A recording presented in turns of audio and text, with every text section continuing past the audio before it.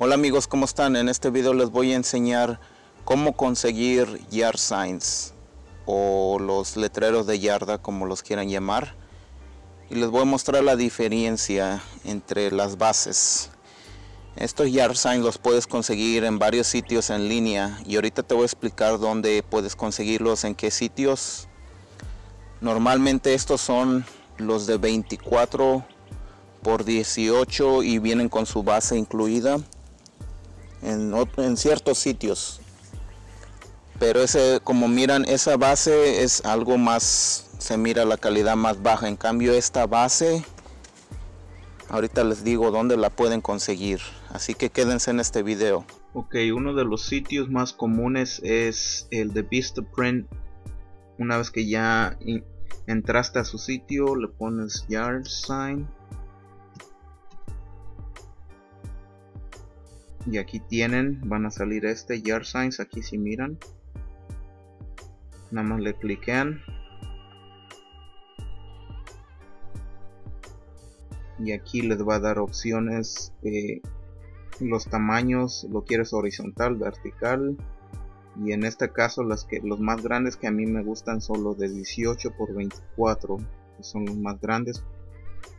Y para que así sirve que consiga las bases las buenas ahorita te muestro cómo y en dónde pero aquí está el mi favorito.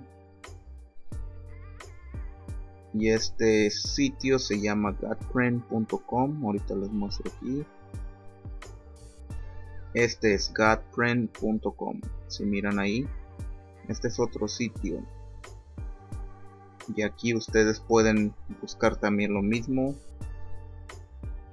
Las, los, los, los yard signs puedes buscarlos aquí como yard signs pero los dos sitios tienen sus, sus diferencias y ahorita te voy a explicar cuáles son las diferencias de ellas ¿Qué puedo poner en mi anuncio?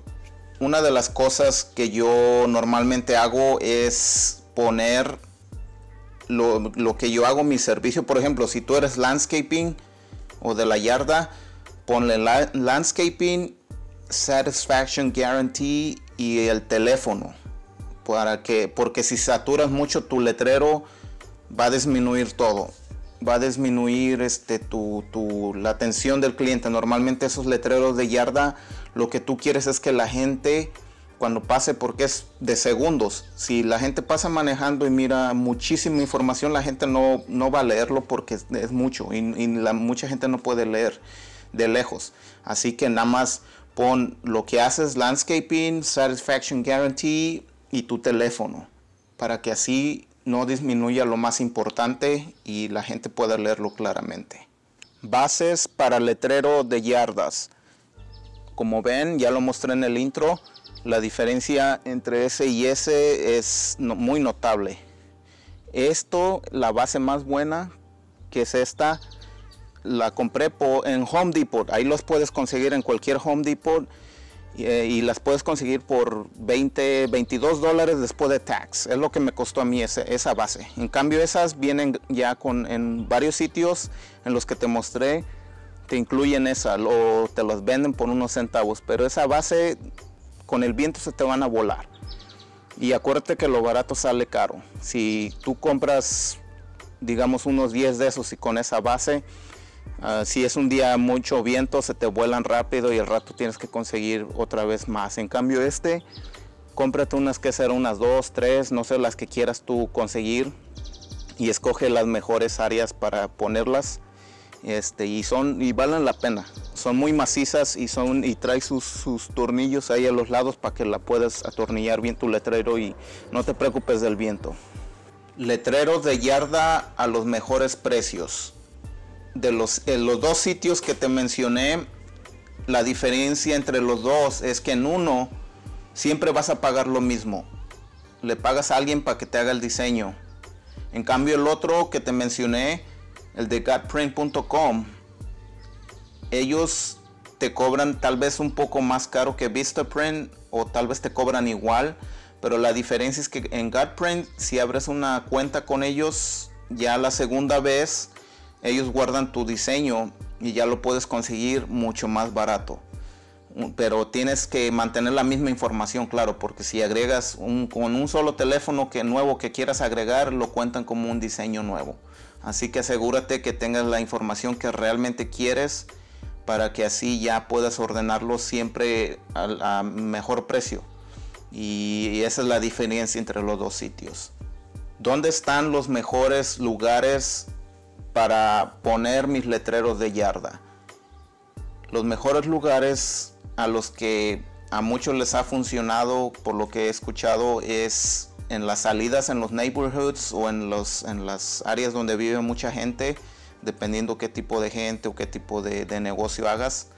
Ah, la mejor técnica que podría decirse donde puedas tú instalar tu yard sign o tu letrero de yarda es en la salida de los neighborhoods porque ahí es donde salen todos, ¿no? Los que viven en ese neighborhood van a salir en una sola salida y todos van a mirar tu letrero ahí, ¿no? obviamente tienes que seguir las normas porque hay estados y lugares que, no te permiten poner ah, letreros de yarda. Ahora sí que tienes que buscar un lugar donde tal vez sea la calle, no sea propiedad de nadie, lo puedes instalar. Porque en muchos estados no, no, te, no es necesario que pidas permiso. puedes instalarlos ahí pero te digo, averíguate de eso o si lo vas a instalar cerca de una casa, asegúrate que no sea la propiedad de alguien para que no te vayas a meter en problemas. Pero trata de hacerlo siempre en la calle, en un lugar donde se mire donde esté la salida de un neighborhood, para que si toda la gente que salga de ahí, si es una buena área, así miren tu letrero y te y ahora sí que no la puedan ignorar, pues. Pero bueno, muchas gracias amigos y por favor de nuevo suscríbanse si les gustó este video, denle like y ya pondré más videos en cómo hacer ideas de marketing, cómo te puede ayudar a tu negocio, no importa qué negocio tengas, hablaré de otras ideas y tenemos, chequea nuestra página y tenemos otros videos de rótulos y de otras cosas que nosotros hacemos. Ah, pero en este, en este canal vamos a hablar más de ideas también de, de no nada más de enseñar, sino de ideas de marketing. Y pues muchas gracias y nos vemos para el siguiente video. Chao, que tengan bonito día. Que Dios los bendiga.